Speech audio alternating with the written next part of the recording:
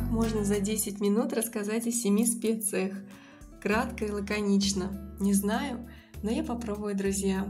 Сегодня хочу поделиться с вами обзором на свои любимые специи с сайта iHerb и не буду тратить ваше время сильно, потому что вы сами все попробуете и составите свое личное мнение.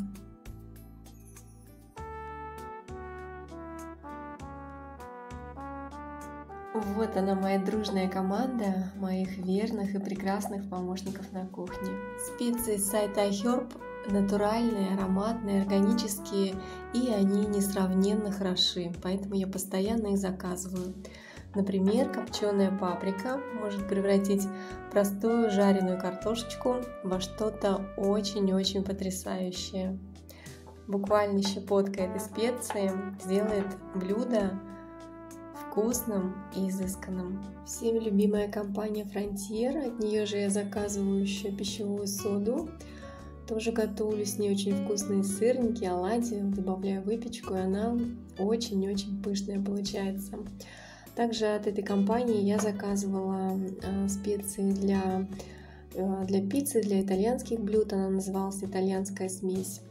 Она у меня благополучно закончилась, баночка не сохранилась, к сожалению. Но вот после этого а, я решила заказать еще. И так как на сайте не было ее в наличии, пришлось мне заказать а, просто орегано. Но я ничуть не пожалела, потому что вот она у меня уже баночка скоро половины не будет. И это естественно, потому что я добавляю ее и в омлет, и в салат, и она дает такой потрясающий аромат, очень тонкий, очень изысканный. В общем, конечно же, тоже рекомендую, друзья. Копчение происходит на древесных опилках, то есть это не какой-нибудь там дешевый ароматизатор, а именно натуральный вкус. Вот так выглядит специя, яркая, насыщенная и очень-очень ароматная. Вообще копченая паприка способна превратить любое блюдо во что-то, наверное, даже неузнаваемое. Поэтому вы сможете легко удивить и своих близких, и своих гостей. Также я люблю варить брусничный соус, и вот этот орегано подходит туда просто великолепно. А, что еще? Карамелизировать лук тоже добавляю эту специю. А, рецепты вы можете найти в интернете, а, как это все сделать. В общем-то, все легко и быстро. У всех специй от Simple Organic идет вот такая крышечка дозатор. Здесь можно маленькими отверстиями воспользоваться, а можно и вот этой. Очень удобно этот каенский перец я недавно показывала в своей распаковке посылки. И я его использую э, по чуть-чуть, конечно же, потому что он очень-очень острый. Но вот видно, что я уже им пользуюсь. Мне очень нравится добавлять его в кофе утренний. Такой бодрящий получается, согревающий напиток. А вообще я добавляю его везде, потому что мы любим острое ну такое, со стринкой, перчинкой. Вот, поэтому он, в принципе, везде хорошо идет. А это ярко-желтая специя, это куркума. Похоже на корень имбиря, очень полезный продукт.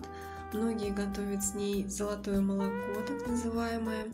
Я добавляю часто в облепиховый смузи, мне очень нравится. Вообще, что делает? Эм, хорошо влияет на иммунитет, нормализует работу желудочно-кишечного тракта, влияет на сосуды очень положительно. Полезная, полезная, полезная штука. Специя, которую я хочу вам показать, это смесь органических перцев. Она у меня уже, как вы видите, заканчивается. Очень удобно, потому что здесь мельница, Заказала ее на пробу а, в первый раз неизвестная мне компания. Ссылочка будет внизу, как обычно, под видео, можете посмотреть. И мне очень понравилось. Добавляю в мясо, и в рыбу, ну, в общем-то, везде, где только возможно, потому что а, перец, как вы поняли, мы любим. Напишите мне, пожалуйста, под видео, имеет ли значение для вас органический продукт или неорганический. Просто даже вот интересно узнать ваше мнение. Следующее, что я хочу показать, это чеснок, тоже органический. А, здесь он высушенный и измельченный. Тоже Simple Organic. И, как обычно, вот такой дозатор двойной. Большое, большое отверстие и много маленьких. Очень вкусный, ароматный. Хороший такой чесночок. А, вообще, если сравнивать с тем, что можно же добавить чеснок, раздавить его в чеснокодавилке, например, и добавить в блюдо, да, это получается один вкус. Если вы добавляете сухой чеснок, это получается совершенно другой вкус. Иногда а, нужен чеснок а, в блюде, но не так ярко, как если бы вот он был просто а, свежий, нарезанный, там, допустим, или измельченный чесночок, да. Вот, поэтому а, вот этот сухой чеснок иногда очень выручает. Тоже добавляю его и в утренние омлеты, и в какие-то бутерброды, и в салаты. Конечно, вкус особенно ярко раскрывается, когда вы уже готовите, то есть в горячем виде. Ну и в завершении всей моей вот этой артиллерии тяжелой, кухонной. А, мои помощники, конечно, верные, потому что действительно всякое блюдо с этими специями приобретает какой-то просто очень-очень вкусный, вкусный вкус. Масляное масло. Вот. А, хочу закончить я свой обзор а, солью. Это гималайская розовая соль.